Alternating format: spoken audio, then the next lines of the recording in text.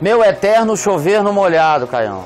É o nosso amigo chovendo ali. Vamos ver aqui. Molhando no meio da chuva. Isso, vamos ver se é uma amiga aqui ou se é um amigo. É. Te falo já já se eu tiver condição. Aí. É uma amiga. Amiga querida, Sim, Caião. tá molhando na Ah, chuva. aqui de Brasília, amiguinha. Vamos lá. Ela é? Ô, Caio, eu tenho o quadro não diagnosticado de déficit de atenção, tá? Uhum. Mas tenho características fortes, bota entre parênteses. Desde a infância eu sofro com isso. E a minha mãe é a pessoa que mais me chama a atenção. Diz sempre que eu não faço nada direito, que eu sou desastrada, que eu não tenho jeito para algumas coisas e para mim é só a falta de atenção. Aí só reforça o déficit de atenção. É, Quando o déficit de atenção é tratado é, de maneira opressiva. Aí aumenta, porque a autoimagem da pessoa Vai vai, embora. A resistência que a gente tem para enfrentar qualquer coisa é mais ou menos proporcional à nossa autoimagem. Se com a autoimagem baixa você não tem resistência para nada. resistência para nada. É, claro. De modo que, se fica pegando alguém que tem déficit de atenção e dizendo que a pessoa não presta atenção em nada, não presta pra nada, não sei o quê, não vou pedir pra você fazer, senão não vai dar certo, você vai esquecer mesmo, eu já sabia que ia, tal, tal, tal. Aí já implanta, igual um, um diagnóstico, já implanta o currículo É. da atenção deficitária no na pessoa pelo desdém ou pelos maus tratos verbais. E eu já disse aqui que se eu tivesse nascido hoje, do jeito que eu fui menino, iam dizer que eu sofria de déficit de atenção. Que eu era borderline, que eu era um bocado Você de tem um monte desses diagnósticos. Cara, eu só vivi em cima do muro onde tinha vidro. Pulando por cima, era meu esporte. Prestar atenção tinha que ser rápido, porque era uma atenção aqui, outra ali, a vida tinha muita coisa. Agora, graças a Deus não tinha esse diagnóstico. Senão tava enrolado. Se não, estava enrolado. Já teriam me levado para tomar remédio, porque eu era um borderline. E déficit de atenção teria me enchido de outras coisas, ritalina e tal.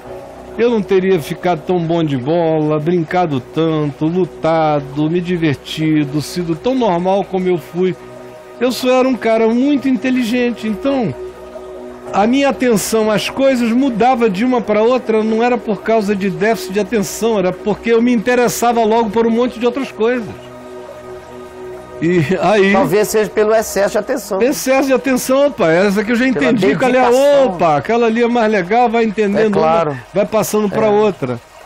E o, o borderline fazia parte daquele espírito que eu fui inclusive incitado a tê-lo, a não ter medo, a subir mesmo, a descer, a pular, a agarrar no cipó e até outra árvore. O que para um monte de gente parecia esquisito, meu pai achava normal. Isso só me fortaleceu. Então, é, eu nunca seria eu se eu tivesse sido criado com os padrões de agora. Nunca. As poucas coisas que existem boas em mim vieram desse deliberado descuido, dessa liberdade, dessa possibilidade de você se imiscuir com a natureza livremente. É uma das melhores heranças que eu carrego na vida. E aí? Pois é, Caio. Aí ela, né? Que não- a mãe dela diz que eu, que eu não tenho jeito para algumas coisas e para mim é só falta de atenção mesmo. Porém, isso me afeta. Agora, você veja uma E pessoa como essa, no dia que faz uma coisa que de fato gosta de fazer, tudo aquilo que foi falta de atenção para as outras coisas converge concentradamente para essa coisa que a pessoa aprendeu a gostar de fazer. Eu já vi muita gente com déficit de atenção até aprender algo que gostava. Ó, Johnsons. pra usar- só o nome da casa aqui. Claro, claro. Johnsons chegou aqui com várias coisas, inclusive déficit de atenção. Sim, claro. Tá tomando Ritalina, que era eu que dava todo dia pro Johnsons. A Ritalina dele. Não, não prestava atenção em nada, distraidão, até gostar de câmera e de edição. Foi. No dia que ele aprendeu, que ele aprendeu que gostava de câmera e gostava mais ainda de editar, Sim. acabou. Mergulhou. Ele passa 24 horas sem sair da ilha, editando. Virou sócio da, do estúdio lá onde ele trabalha agora. Tudo era déficit de atenção. Não. Era só um cara que não tinha saco para tudo que propunha. Nem para o currículo escolar. Em termos de currículo escolar, ele não foi muito adiante. Mas quando ele viu e aprendeu o que ele gostava, meu Deus, Fantástico. meu filho Davi está me dizendo que ele está editando coisas maravilhosamente legais. Eu tenho visto coisas dele no Facebook, tá Então. bombando, tá muito lindo. Só foi o quê? Foi oito anos atrás que ele chegou É, aqui é. e olha só onde é que ele já está. Tem tempo.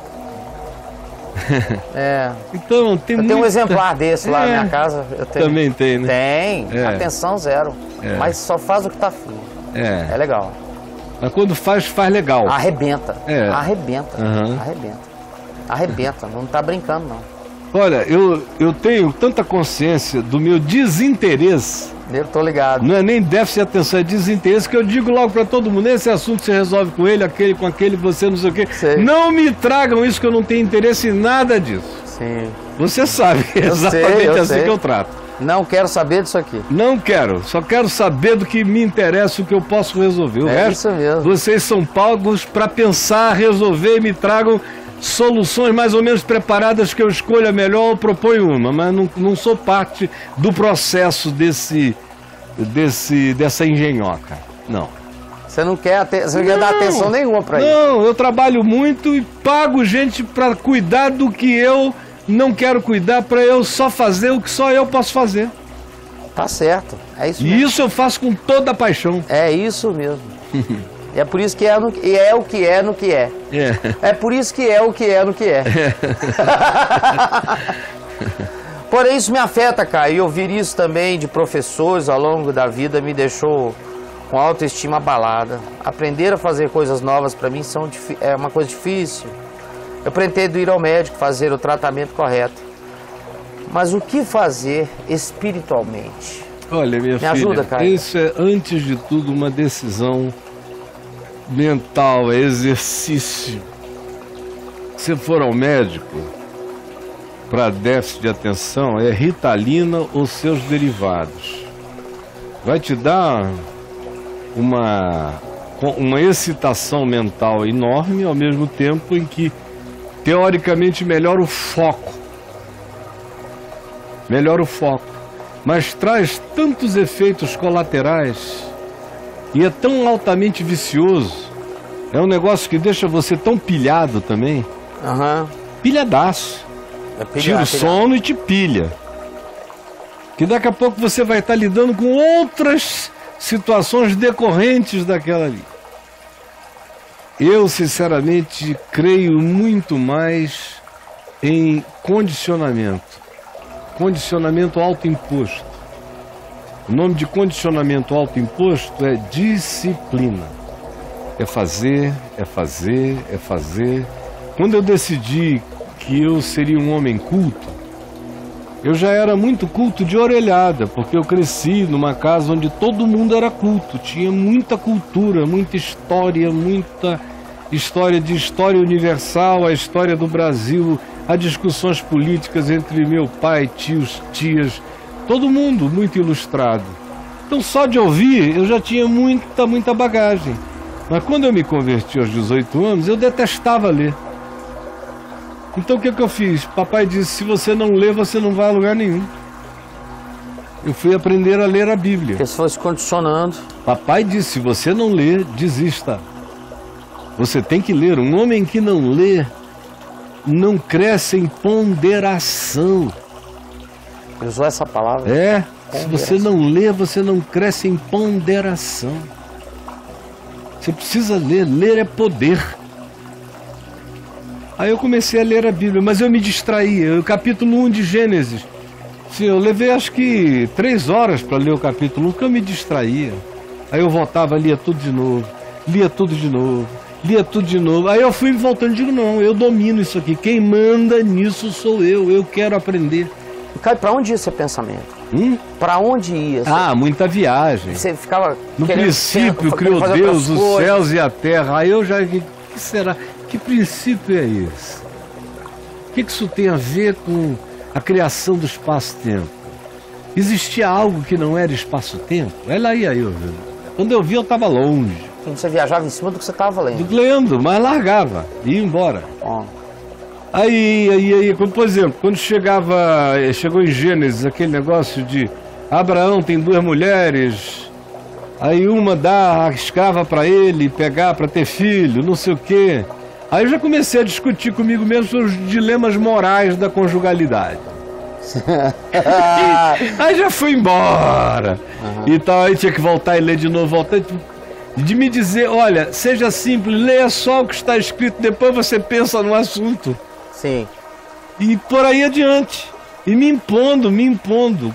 Quando eu, além da Bíblia, agreguei outros livros que meu pai foi me dando, ele jogou logo uns 300 em cima de mim. Ixi!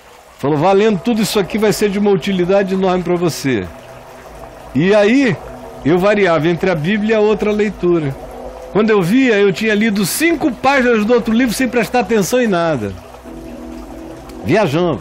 Lá eu voltava, eu detesto retroagir, mas tive que me impor a disciplina da retroação, pegar de novo e ler. Aí eu aprendi que se eu lesse em voz alta, eu focava melhor. Aí eu passei a ler em voz alta. Tenho isso. Li em voz alta, eu me ouvia, me ouvia, me ouvia.